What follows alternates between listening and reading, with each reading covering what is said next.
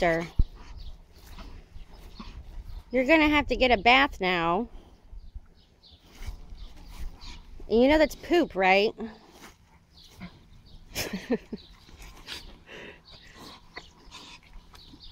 oh my god, you stink.